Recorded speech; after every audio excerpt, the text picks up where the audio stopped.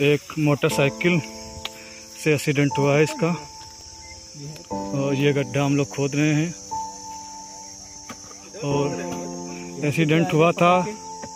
और कोई भी लोग भी इसको गाड़ने वाला नहीं था। और हम लोगों ने लोगों ने सोचा कि इसको गाड़ देते हैं। और ये देखिए खुदाई हो रही है।